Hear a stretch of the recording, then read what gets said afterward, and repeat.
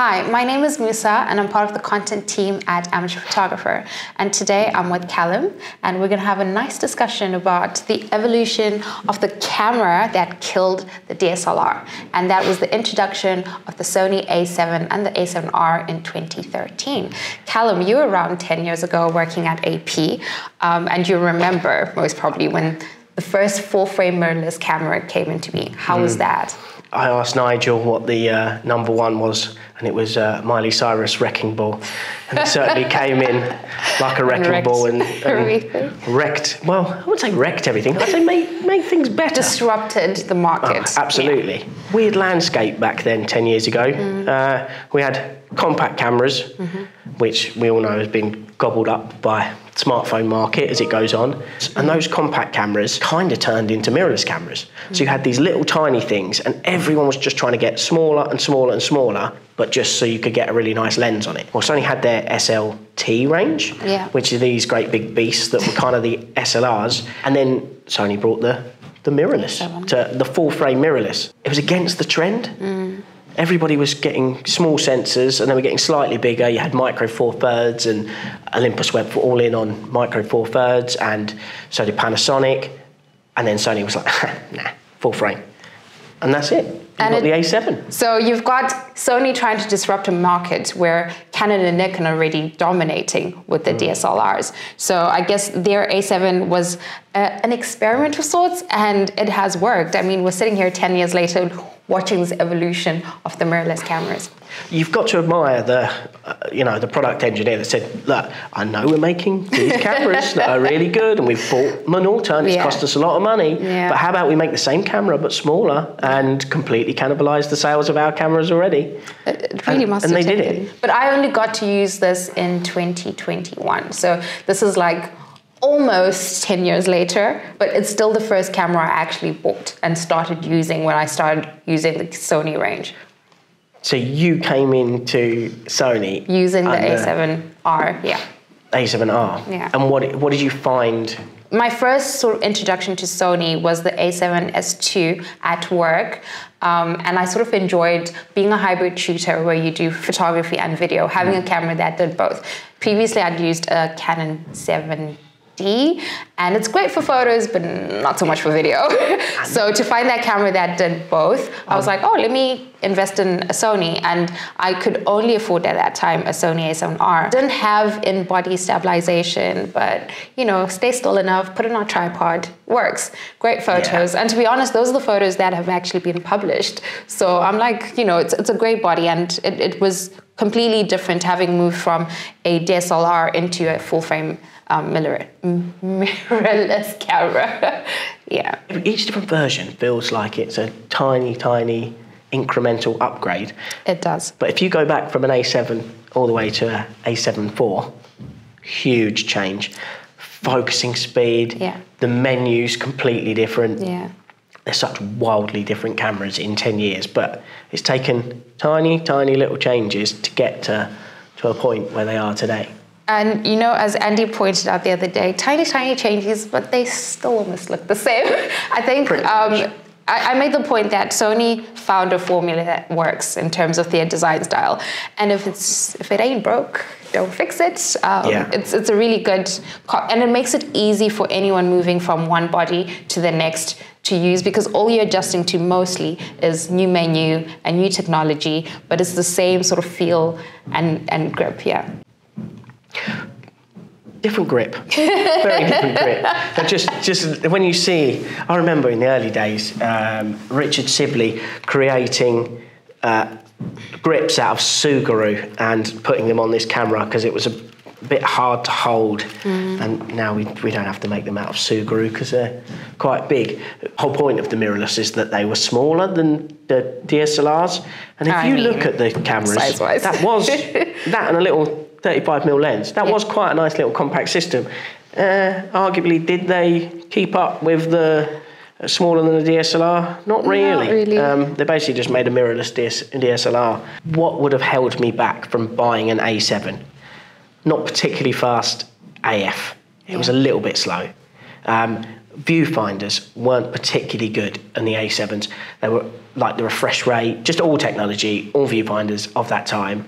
Um, I remember having a Leica camera that had a quite a, a significantly more advanced viewfinder than the others, and I was like, if this comes onto a well, it has now. If this comes onto a camera like that, this is going to be a game changer. Yeah. But um, in the dark, being really hard to like focus, and then manual focusing not being particularly good because you couldn't properly see, not high enough resolution viewfinders. Mm.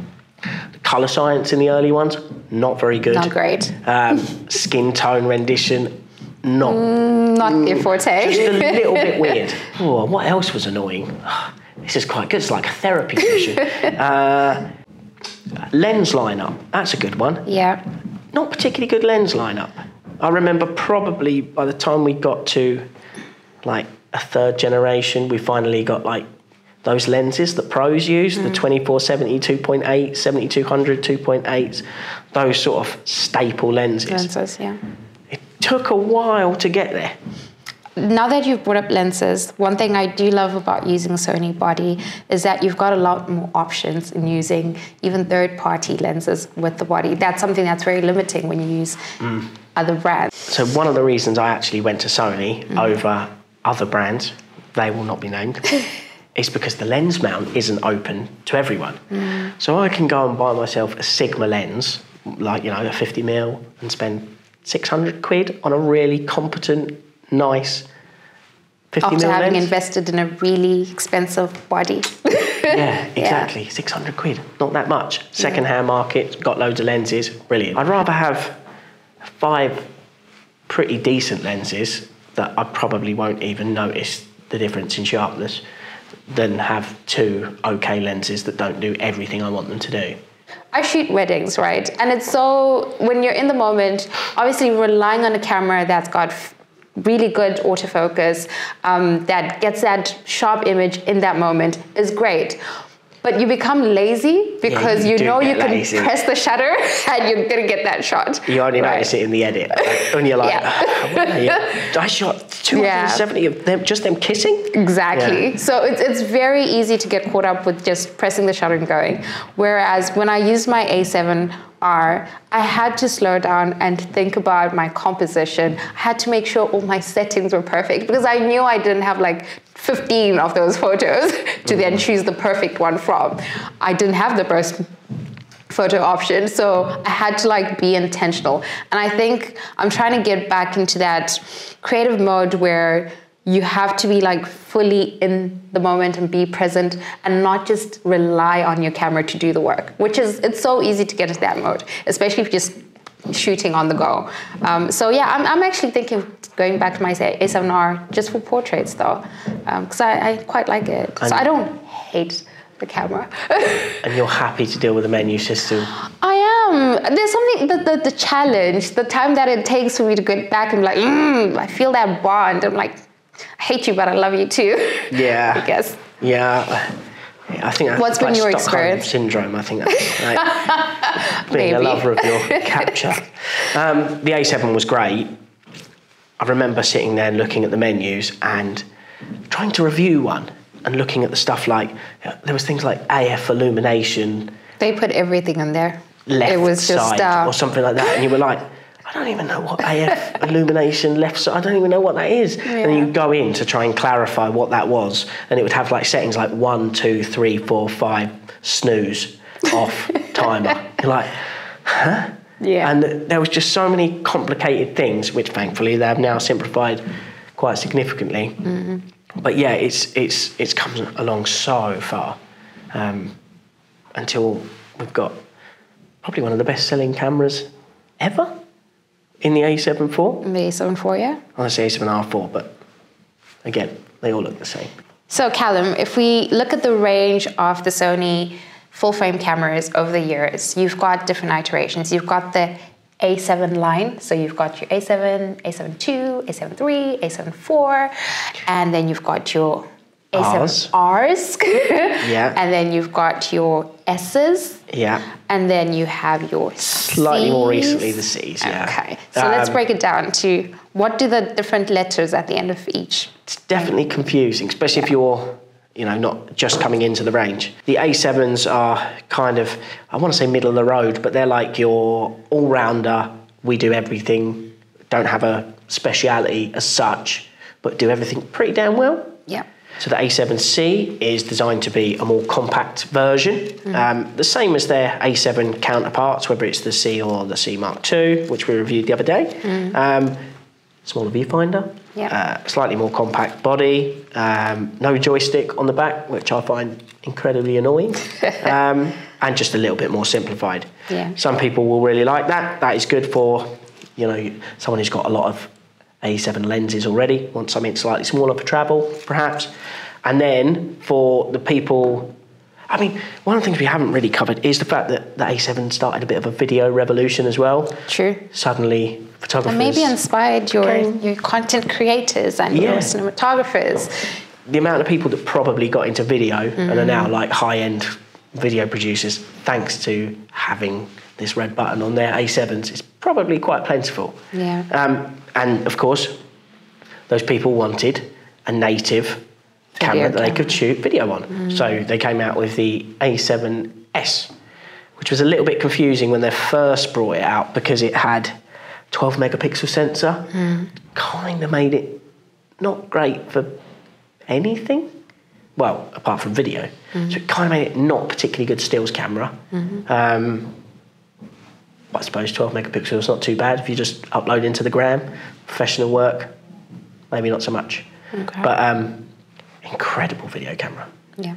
And you can have you have you used I've, I've tried the A7S2 for video and it's it's really good. I mean, you're shooting at 4K, so Mm. you, you've got that option. Yeah, I've tried that. and low light, Yeah.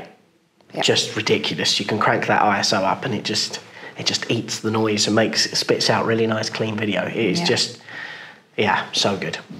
Great. And that leaves the A7R range. Of course, we've got the A7R, which is like your.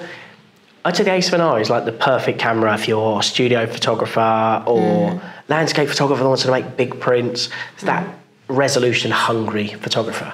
Um, and there are quite a lot of people out there that like it. At this point, possibly the pixels are getting so much that you're filling hard drives left, right, and centre. So, unless you really need it, the A7 is probably the better good camera for most. Just such a But good we camera. could be biased because that is the camera we both use. So Yeah. you never know. Testament to the Sony range that having the ability to use pretty much any camera we can. Yeah, because they've maintained. both own A7 Sony. IVs. that should tell you something. And what are we filming on today? Sony A7 IV. A7 So, say Sony A7 being the camera that killed the DSLR. Um, people have always wondered what we mean when we say that because I know we've written an article about that, but you know, what does it mean that it actually killed the DSLR? The introduction of um, contrast detection and phase detection AF points on the Yeah. sensor. Yeah. That was huge. Even the early A7s Mm-hmm. actually are more competent at autofocusing than like professional DSLRs of 10 years ago. Yeah. And because Sony sort of came in early into the market with the A7, they, they set the trend. And it took Nikon and other brands Reluctantly. reluctantly, they dragged it out for years. Screaming. Um, Canon and Nikon only introduced their full frame mirrorless cameras in 2018, and that's a whole five years after Sony has. So, you know, they've come in, they've now pushing their mirrorless, which has meant that they've stopped, you know, the production of their DSLRs. So that's that's why when we talk about the Sony A7 being the camera that killed the DSLR, it did push that, that camera out of the market. it started the it started the trend. revolution. Full frame mirrorless. Yeah. And don't forget, there's also been lots of challengers that have tried to go full frame, not big enough. We'll go even hmm. bigger sensor. But really, the professionals, most people, full frame, plenty big enough. As long as it's quick, takes nice images, the colours look good, and it's not horrible to use. That's the camera they're going to choose. and that's it. Well, thank you so much, Callum. Um, fully enjoyed this delving into 10 years of cameras. But yeah, we're going to head out and try some photos now with some of these cameras. I'm definitely going with the A7R, um, as slow as it is. so thank you so much for watching. Please do tell us in the comments below what your favorite Sony camera has been over the last couple of years and anything else that came up from this discussion. We hope you enjoyed it. Thank you so much for watching. Please comment, like, subscribe, and we'll see you in the next video.